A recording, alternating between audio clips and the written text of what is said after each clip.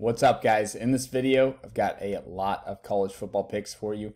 It is the last true college football Saturday. I would say last week was the last true college football Saturday, but this one's like rivalry weekend where half the teams are checked out, half the teams got nothing to play for.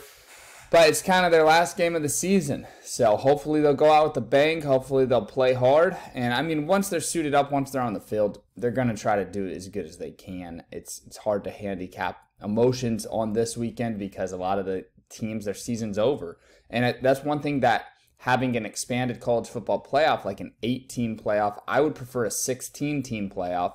There's over 150 universities with the football team.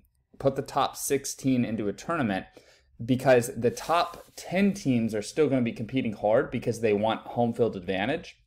And then the 25 to, to 10th ranked teams are going to compete hard to get those last six slots.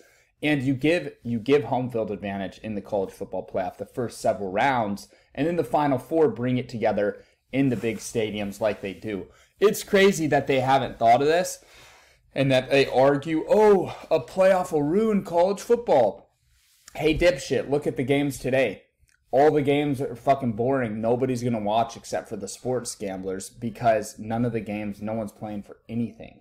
Even the eighth ranked team in the nation, a top 10 team, is playing for nothing pretty much. And the conference titles just don't mean shit if you have two or three losses. They mean something for the undefeated and one loss teams, of course.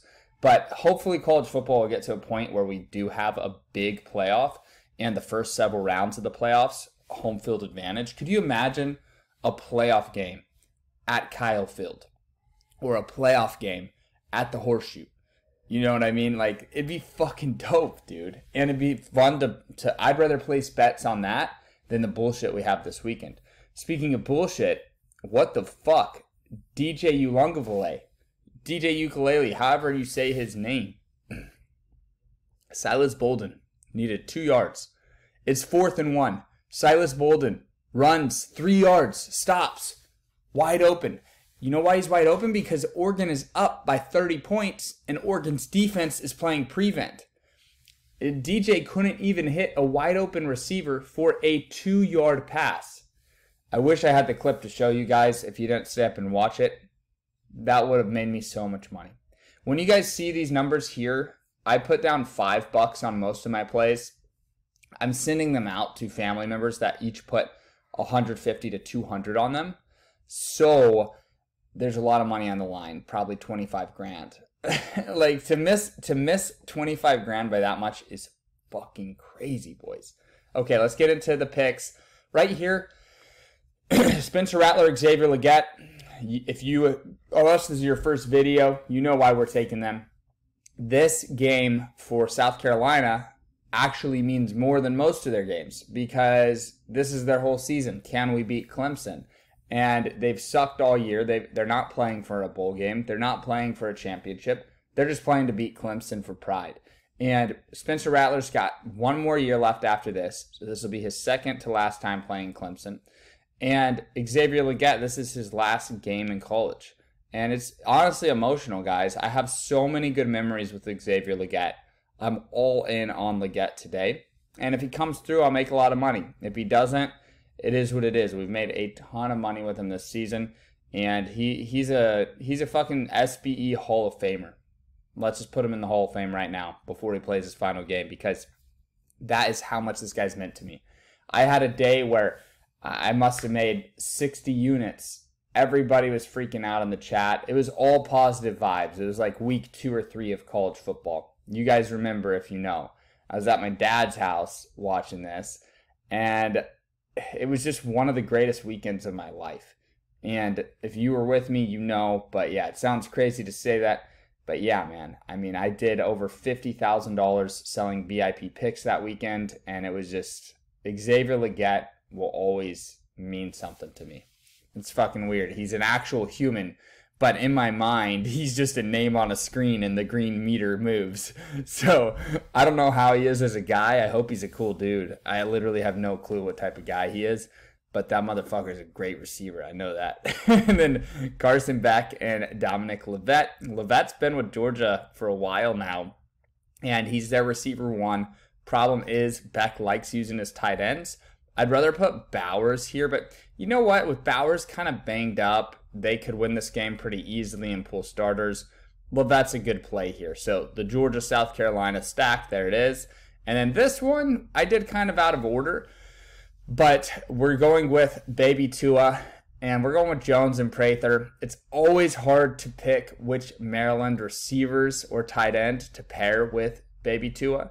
Uh, but we're taking to his little brother here. We're taking the Maryland stack against Rutgers. It should not give them too much trouble. They should be able to hit their yardage.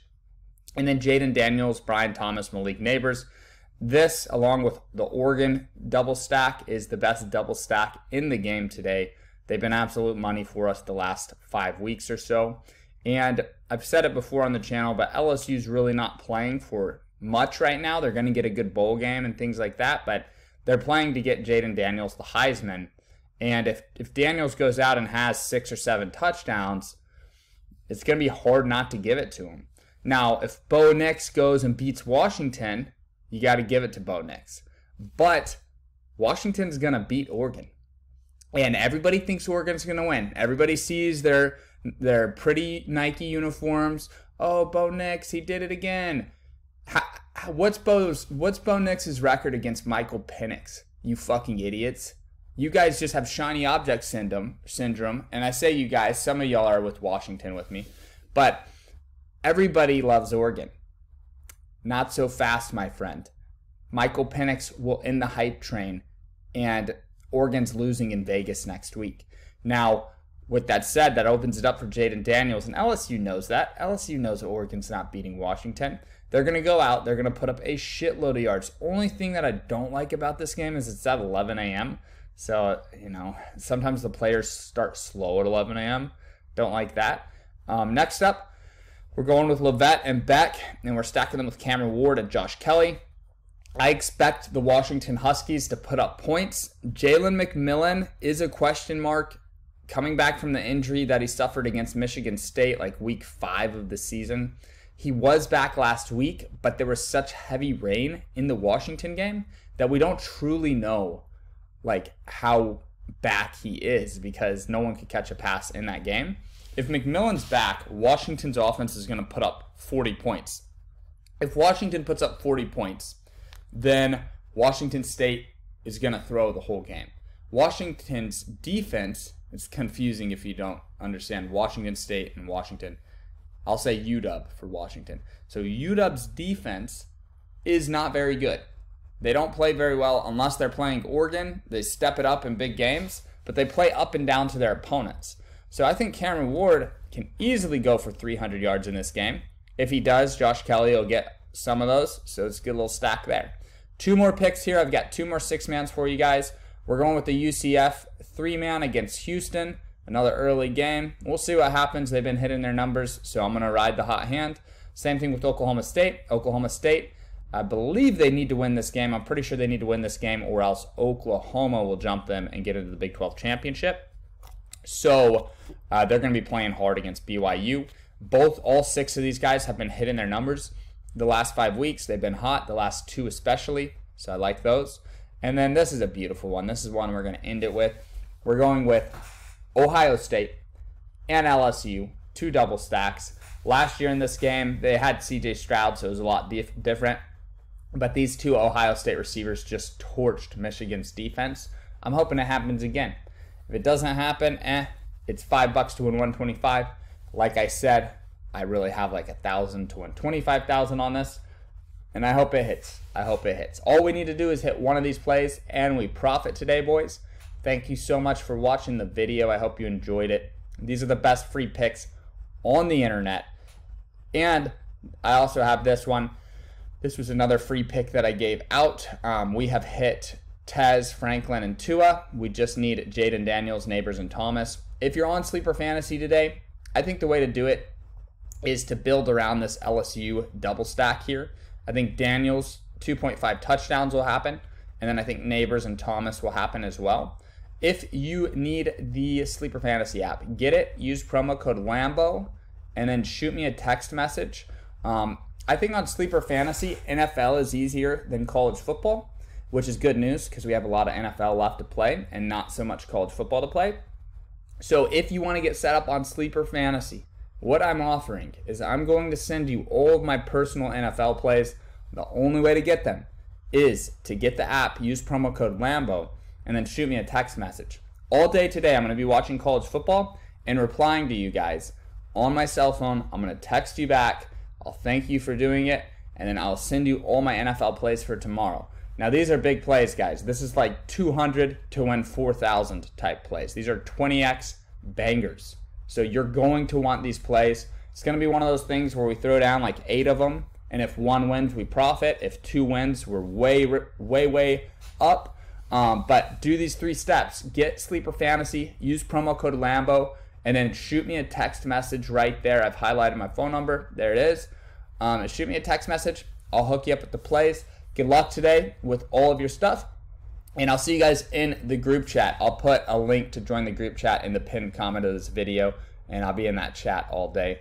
Let's get some money, boys. See ya.